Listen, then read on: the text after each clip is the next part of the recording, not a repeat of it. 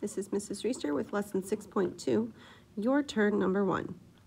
The manager at a sports store bought cans of tennis balls for $2 each and tennis rackets for $20 each. Using B for the number of cans of tennis balls and R for the number of rackets, write an expression to represent the total cost of the balls and rackets.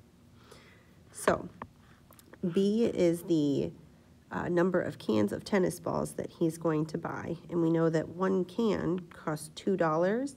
So hypothetically, if we were to buy 10 cans, we would take 2 times 10. And in this case, because we don't actually know the number, we're going to use B. So we would take 2 times B to find the total cost of all of the tennis balls. And likewise, we're going to do the same thing for the tennis rackets. So we're going to add to that 20R. So our expression here is 2B plus 20R. And now part B. The manager is going to mark up the price to double what he bought it for. Using your expression from part A, write and simplify an expression using the distributive property to represent the total price for the tennis balls and tennis, or the tennis balls and the rackets.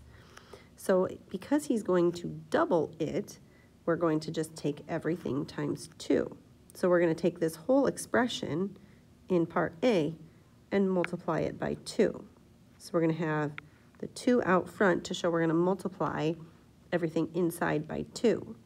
And that is our expression from part A, 2b plus 20r.